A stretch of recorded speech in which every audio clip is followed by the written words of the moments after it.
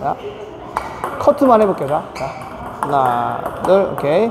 하나, 둘. 자, 이게 지금 제가, 제가 세 번 줬는데 지금 두 번 걸렸어요. 이게 사실 커트가 드라이브보다 나는 더 중요하다고 생각을 해요. 뭐냐면 커트도 1점, 드라이브도 1점이에요. 근데 바로 드라이브를 할 수는 없잖아요.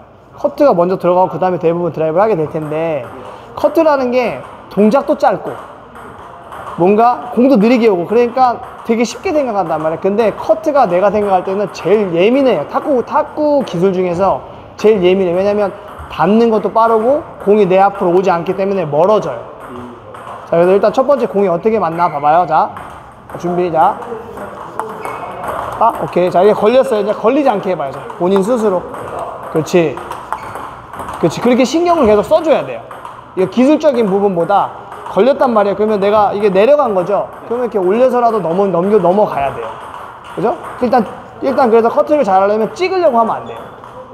찍으려고 하면 할수록 공이 나가는 성질이 줄어들어요. 알겠죠? 자. 자, 그리고 그 다음에 스텝. 스텝은 그렇게 오른발이 들어오는 게 맞아요. 자. 그렇지. 다시 걸리면 안 돼요. 자. 그래서 이 오른발을 선택을 잘해야 돼. 얼마큼 들어가야 되나? 그죠?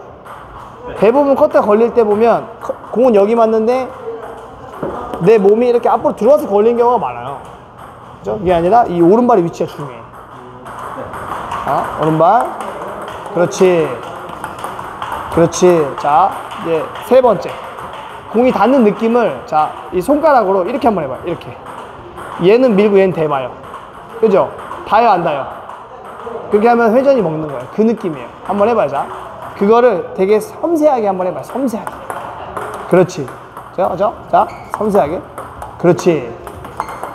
자, 우리가 드라이브도 그렇지만 드라이브 묻히라고 얘기 많이 하잖아요. 그러면 커트도 사실 회전이 되는 회전을 주는 기술이에요. 그러면 치는 기술이 아니란 말이에요. 튕겨내는 게 아니라 묻혀줘야 돼요. 근데 그 느낌이 이렇게 닿는 느낌보다 이렇게 닿았을 때 훨씬 더 묻혀주는 느낌이 잘 난단 말이에요. 그래서 공이 딱 닿을 때 이렇게 딱 닿게 하란 말이에요. 자, 그렇지. 그 다음에 힘 조절이에요. 힘 조절. 근데 이렇게 자 내려가는 게 아니라 이렇게 닿아야죠. 그렇죠. 그지? 지금 계속 걸리고 있으니까. 자, 힘 조절.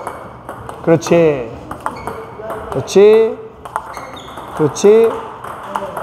그렇지. 자, 근데, 자, 이제 잘 들어가죠? 그러면 그때부터 조금씩 힘을 주는 거야. 자. 옳지. 됐죠?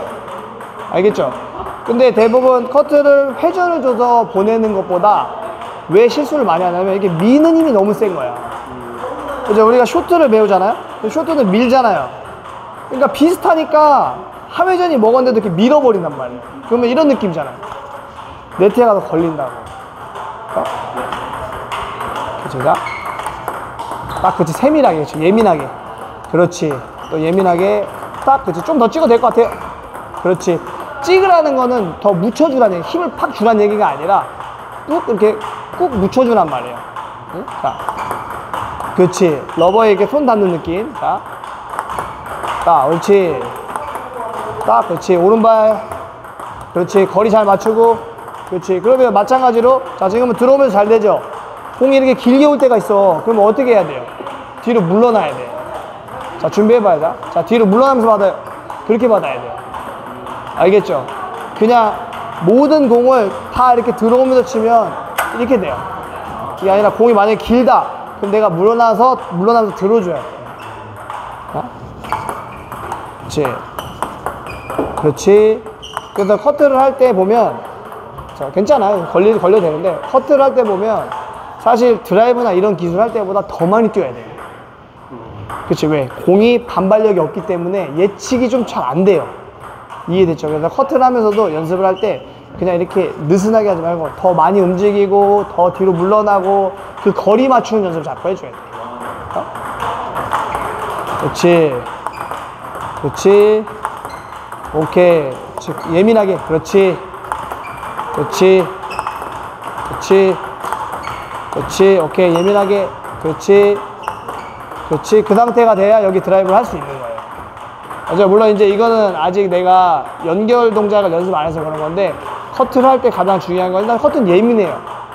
그죠? 그러니까 이게 동작이 작기 때문에 못 느끼는 건데 더 많이 움직여야 되고 반발력이 없기 때문에 내가 더 예민하게 쳐야 되고 그래서 이 묻히는 느낌을 이렇게 이렇게 튕겨내는 게 아니라 여기 손가락 닿았을 때 걸릴 수 있게.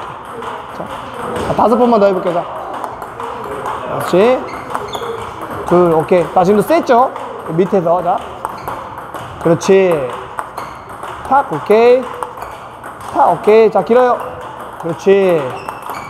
자, 그렇지. 그렇게 힘 조절을 할 줄 알아야 돼요. 알겠죠? 다리 움직임은 지금 굉장히 좋아요. 그래?